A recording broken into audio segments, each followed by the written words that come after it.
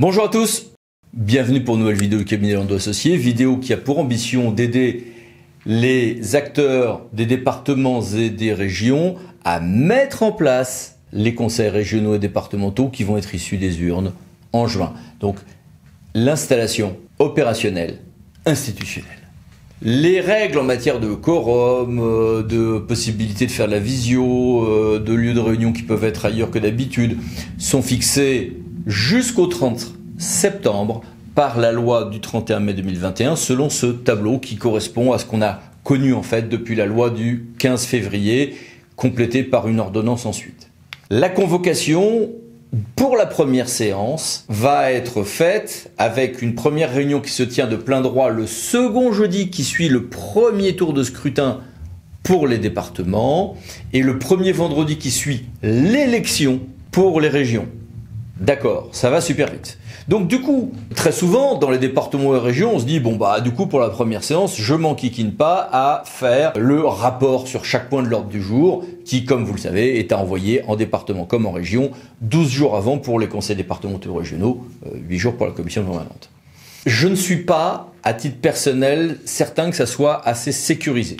Je m'explique. On a à chaque fois les départements et les régions qui s'abritent sur un arrêt Guignot de 89 sur ce point, qui admettait à l'époque des remises sur table, si tout le monde était d'accord, etc. Ça n'est plus une possibilité en droit municipal. Grand 1. Grand 2, l'arrêt d'Anthony nous dit qu'un acte est illégal si je prends des libertés avec la procédure ou avec les formes. Si ça change quelque chose au résultat, bon, ou si j'ai privé quelqu'un d'une garantie. Or, pour un élu, notamment un nouvel élu, c'est une garantie que d'avoir quand même un rapport. Certes, pas dans les 12 jours, j'ai un délai spécial prévu par la loi, mais c'est quand même mieux d'avoir un rapport. Complexité supplémentaire.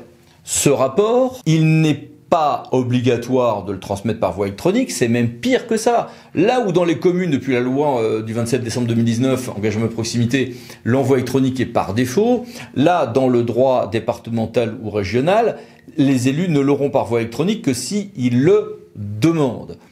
Ce qui veut dire d'ailleurs qu'à la première séance, euh, en même temps qu'on met, euh, qu'on redonne aux élus leur adresse électronique, parfois un téléphone ou une tablette, etc., on les fait signer pour dire qu'ils acceptent que, par exemple, les rapports soient bien adressés à euh, nom du département ou de la région, euh, .fr, etc. Avec un petit formulaire RGPD, le respect, un petit, bon, voilà, le respect des, des, des règles, euh, les autorisant ce qu'on fasse nous-mêmes les paramétrages dans le téléphone s'ils le souhaitent.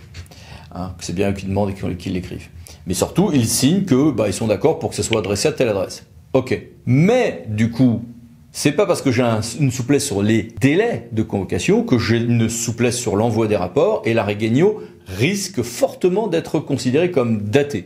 Donc, on envoie quand même les rapports. Et la bonne nouvelle, c'est que le 30 mars 2021, le Conseil d'État a admis en droit municipal, par contre, que pour les premières séances, tant qu'on n'a pas les, adresses électroniques et tout, tout moyen soit le bon.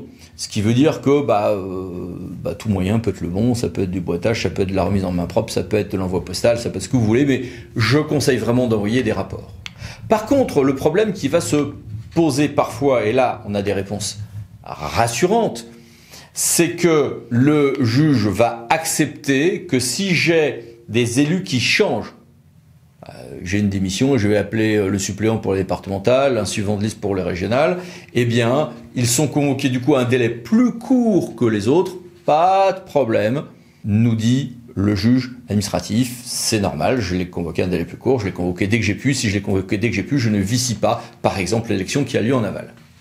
Un mot sur l'ordre du jour. Qui convoque bah, Celui qui convoque, euh, c'est le président sortant ce sera le doyadage qui présidera le début de la séance, mais c'est le président sortant. Ce qui veut dire que le président sortant, il a des compétences limitées aux affaires urgentes et courantes. Donc, on ne met pas dans la première séance des choses ambitieuses pour lesquelles, d'ailleurs, il aurait fallu sans doute envoyer un rapport en respectant cette fois-ci le délai de 12 jours.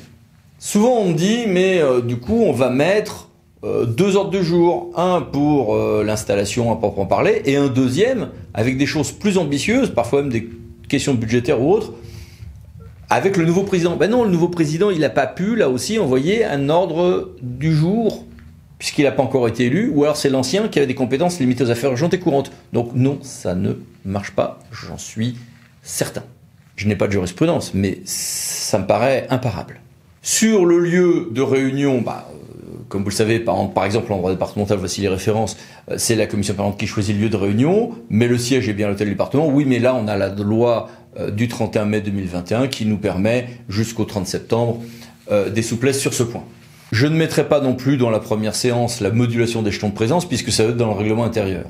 Si d'ailleurs, dans ma composition de commission ou autre, je dois modifier le règlement pensez bien dans vos délibérations à dire que ça vaut modification du règlement pour que ça ne soit pas une violation de vos propres euh, règles.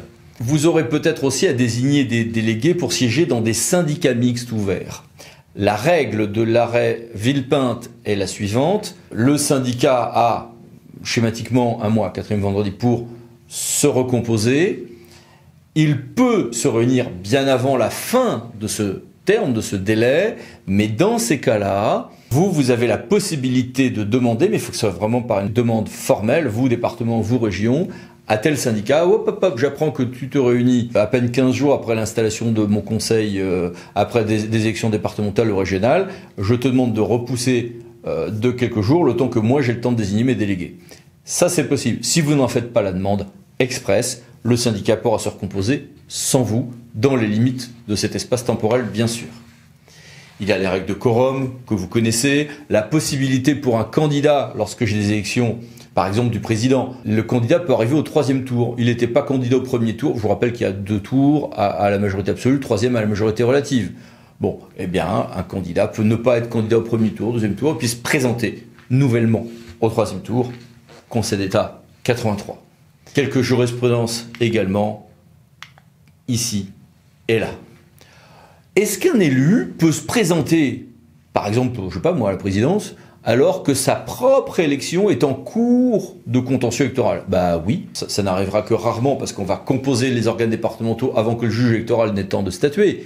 Mais imaginez qu'il y a euh, des modifications en cours de mandat. Tant qu'un élu n'a pas son élection annulée, il est élu, à quelques bémols pour le pénal. Et même si son élection est annulée, mais qu'il a fait appel, l'appel est suspensif en électoral. Donc, il faut avoir en tête l'impact d'éventuelles annulations d'élections, mais un élu dont l'élection est contestée, ou même annulée mais il y a eu appel, reste un élu de plein exercice.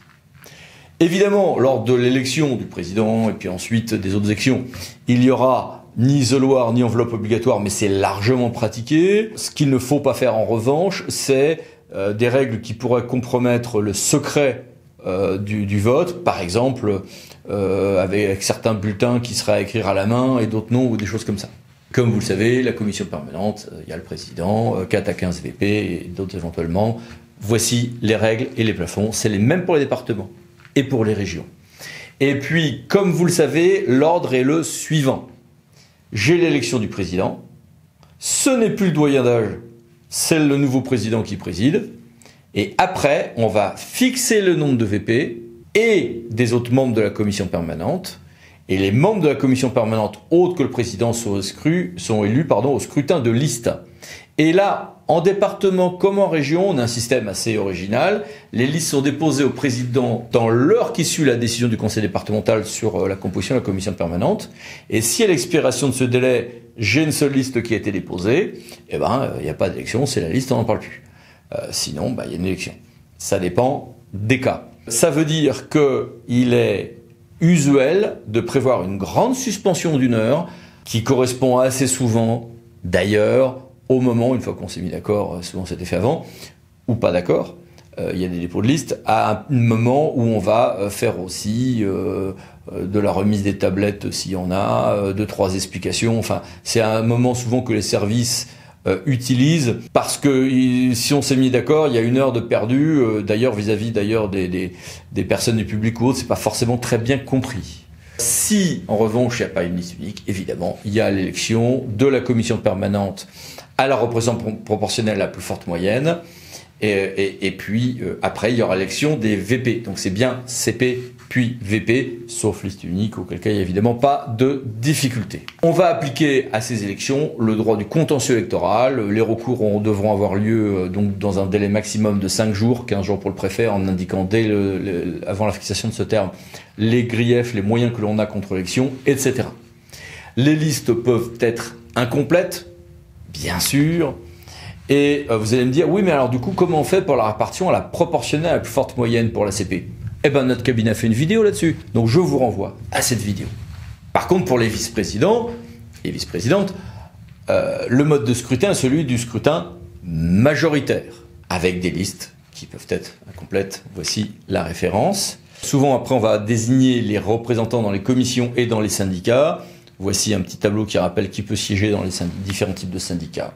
Et ensuite, seulement ensuite, en général le lendemain, après qu'on aura fait toutes les formalités de transmission à l'État, euh, on aura les arrêtés de délégation de fonction au vice-président pour lequel il faudra bien penser à faire attention à ne pas sombrer dans les conflits d'intérêts car, comme vous le savez, un conflit d'intérêts peut être constitué même avec des gens honnêtes qui n'y ont rien gagné.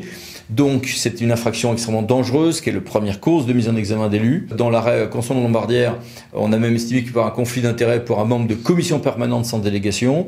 Donc, il y a bien un travail, surtout au stade des délégations de fonction, pour éviter les risques de conflit d'intérêts. Les commissions sont évidemment la proportionnelle, et si la commission est trop petite, au point d'exclure certaines oppositions, ça peut être illégal dans des cas grossiers. Et euh, il y a des subtilités parce que parfois le contentieux électoral s'applique, parfois ne s'applique pas aux autres élections, commissions, CAO, etc. Sur euh, les votes, ensuite, bah, il y a quelques articles que, voici euh, et que voilà. Sur la CAO, attention, il faut bien penser à faire un vote avec deux délibérations distinctes. Voici ici quelques références. La charte de l'élu local doit être lue après l'élection du président, vice-président et autres membres de la commission permanente. De ce point de vue-là, là aussi, le droit est différent du droit municipal. Et puis, il y aura le règlement intérieur qui va rester en vigueur tant qu'on l'a pas euh, donc modifié. On aura trois mois pour ça. Là aussi, délai différent puisqu'en droit municipal c'est six mois. Et euh, on aura euh, aussi à constituer les groupes d'élus. Pour les groupes d'élus, le juge reconnaît que c'est à l'Assemblée départementale ou régionale de fixer des minima pour ces groupes d'élus. Alors évidemment, si vous prenez par exemple deux, il me semble que vous prenez aucun risque. Mais par exemple, pour euh, le cas euh, de la région PACA, région sud, la CA de Marseille en 2004 a admis un plancher de 10. Ça peut sembler beaucoup, mais d'abord c'est une région avec un assez grand nombre d'élus, et il se trouve que dans la composition entre listes, ça allait. Donc il faut bien prendre garde à ne pas transformer ça en ah ben on a le droit de fixer un minimum de 10. Le juge avait accepté en l'espèce 10 en l'état de l'effectif total du conseil et du résultat des urnes en l'espèce. Donc, alors on va ça peut changer en cours de mandat. Oui, euh, c'était un peu la limite du raisonnement du juge. Mais bon, prudence, à voir au cas par cas.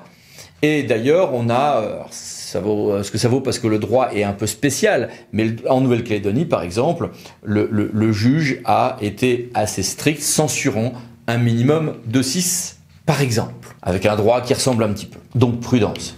Autre élément, les cabinets des élus vont se constituer. Les présidentes ou présidents de région vont constituer leur cabinet et depuis les deux lois du 15 septembre 2017 qui ont suivi euh, elles-mêmes l'affaire Fillon, euh, on sait tous qu'il y a des compositions de cabinets qui sont illégales.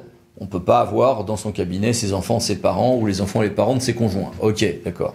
Mais ce qui est moins connu, c'est qu'il y a toute une série d'autres personnes qui peuvent être dans le cabinet, mais pour lesquelles il y a des déclarations à faire.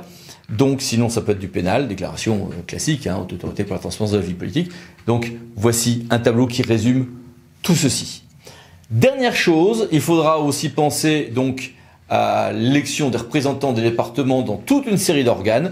Dans le cas des SDIS, par exemple, ou les équivalents des SDIS, l'échéance, par exemple, a été fixée au 27 octobre 2021. Voilà, beaucoup de choses. On a balayé tout ceci. Je fais des formations qui parfois prennent plus d'une demi-journée sur ce sujet-là. Là, on a été sur une toute petite vidéo euh, un, peu, un peu rapide. Bon courage pour la mise en place de tout ceci. Merci. Au revoir.